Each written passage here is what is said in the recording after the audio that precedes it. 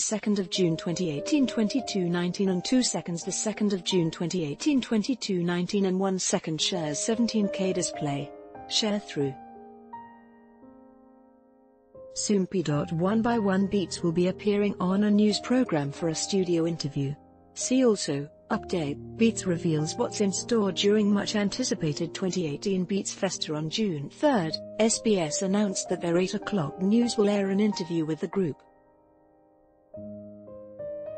For the pre-recorded interview, news anchor Kim Yong-tae began, Call out your children who went into their rooms because the news isn't fun to watch.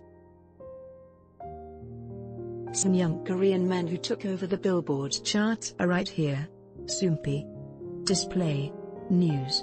English. 300 by 250. BTF Soompi. Mobile.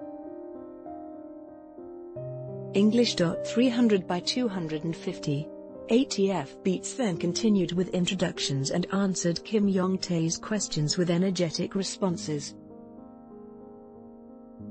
Through the interview, Beats will unveil behind-the-scenes stories of the Billboard Music Awards and talk about the messages they want to share through their music.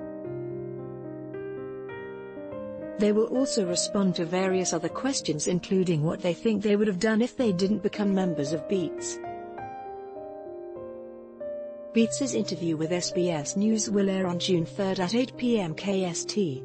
Source 1. Shares 17K display. Sharethrough. Soompi. One by one mobile web. Display. Sharethrough. Soompi. One by one youth dramas filled with romance. What to watch if you liked C-drama The Big Boss Jung Joon Young to transform into the PD on upcoming episode of Two Days and One Night.